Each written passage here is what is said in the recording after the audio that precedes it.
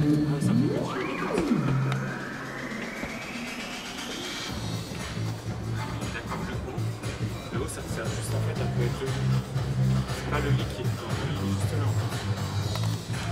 Ça sert juste à avoir plus de hauteur de peur.